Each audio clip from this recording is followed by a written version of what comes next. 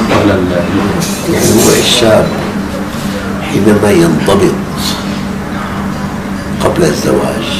في علاقته بالمرأة يغض بصره يحصن فرجه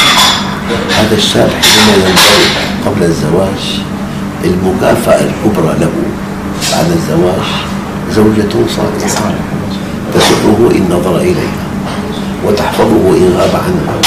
وتطيعه إن أمرت والدنيا كلها متاع وخير متاعها المرأة الصالحة. التي إذا نظرت إليها سرتك